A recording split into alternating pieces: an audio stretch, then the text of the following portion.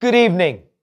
We at Front Page would like to start by thanking you for all your support and would request you to continue to show your confidence in us by liking, sharing, and subscribing.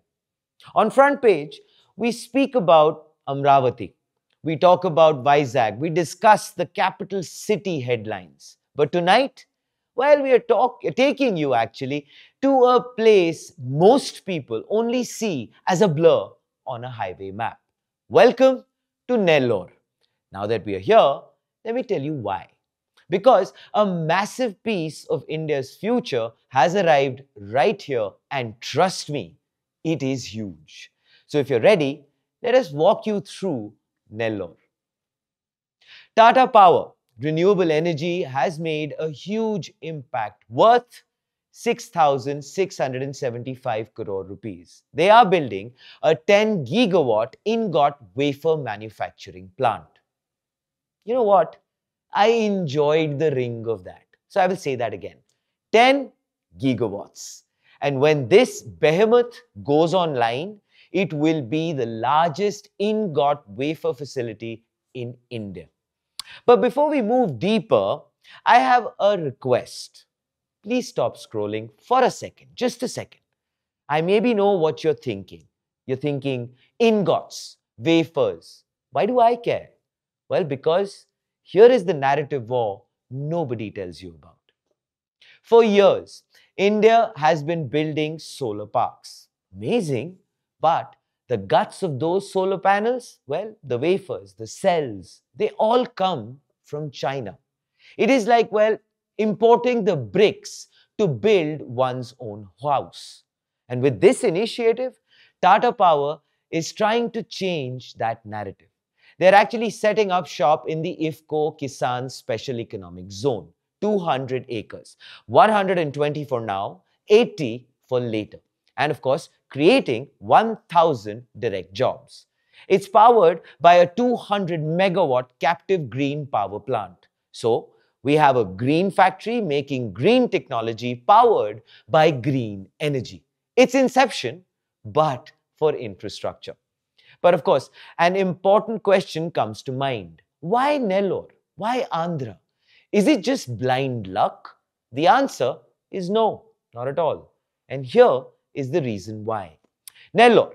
Well, Renew Photovoltaics. They are based in Anakapalli with India's first 6 gigawatt integrated plant. Then we have IndiChip and Yitoa from Japan.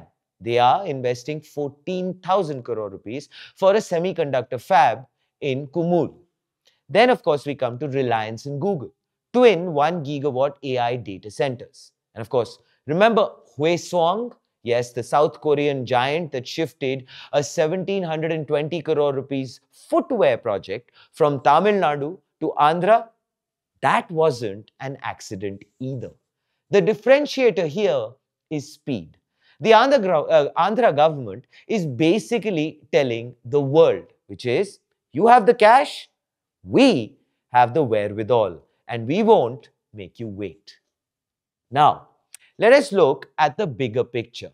And when we do, well, we realize that this is not a celebration of Andhra alone, but of the India tech stack.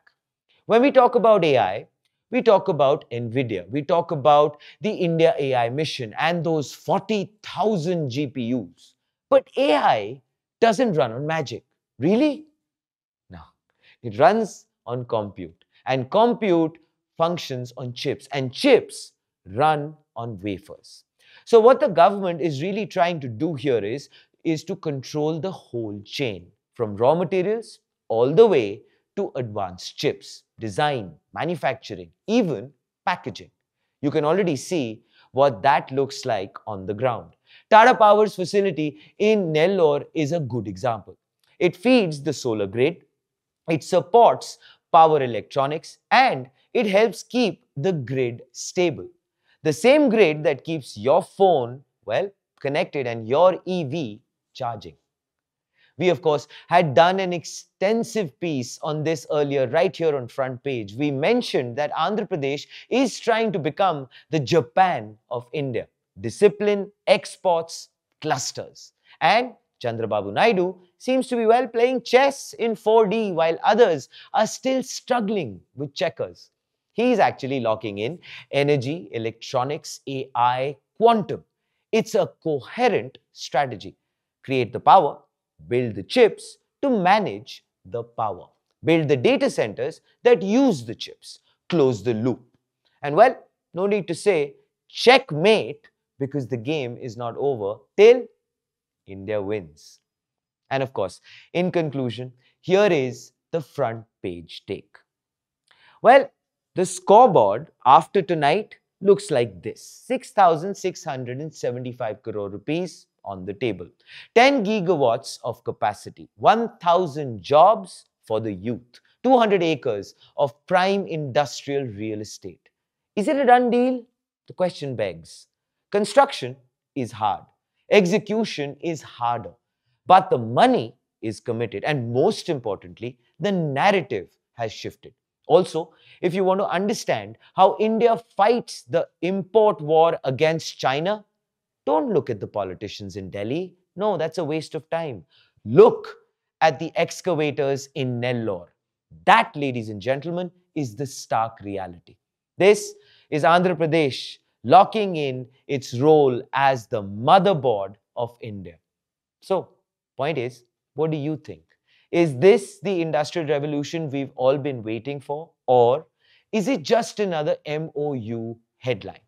If you're from Andhra or you just are a fan of seeing something being built, please do let us know what you think in the comments below. This is Front Page by AIM Network. Like, share, subscribe, and always remember think AI think Andhra Pradesh think A I M